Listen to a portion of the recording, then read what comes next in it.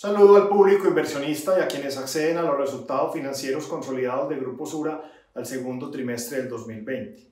Comparto con ustedes que las cifras a junio son mejores de lo que teníamos proyectado y muestran una recuperación que nos permite cerrar un primer semestre con utilidad positiva, pese a los diferentes impactos en salud, empleo y mercados de capitales derivados de la pandemia.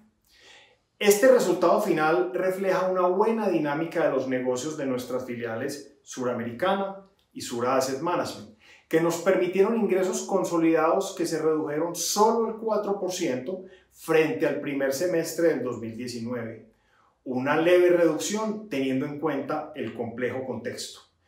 De igual forma, durante el segundo trimestre vimos una paulatina recuperación de los portafolios propios de inversión de nuestras filiales que nos permitió compensar parcialmente el impacto al primer trimestre de la caída en los mercados de capitales.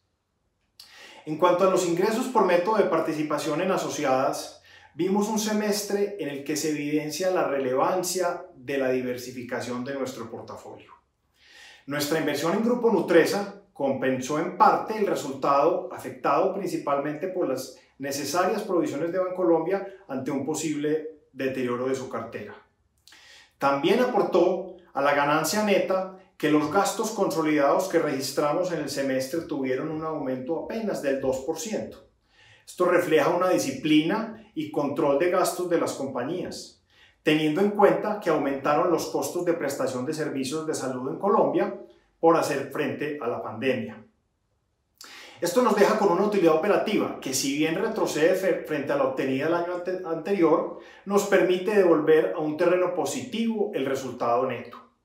De nuestras filiales quisiera destacar que Suramericana cerró el primer semestre con un aumento considerable de la utilidad neta, impulsada por un crecimiento en los ingresos totales del 10.5% y la recuperación de los rendimientos de portafolios propios, particularmente en Argentina. Por su parte, Sura Asset Management incrementó sus activos bajo manejo y las comisiones del negocio voluntario avanzaron 14%, gracias a la buena dinámica comercial y mayor tenencia al ahorro en la región. En el negocio mandatorio, la recuperación del encaje en el segundo trimestre aportó a que la utilidad neta de Sura Asset Management retornara a terreno positivo. Finalmente, quisiera destacar la emisión local de bonos que se realizó el 11 de agosto pasado, con la que nos anticipamos a garantizar liquidez adecuada para atender las obligaciones del 2021 y mejorar nuestro perfil de deuda a largo plazo, además reduciendo el costo del endeudamiento.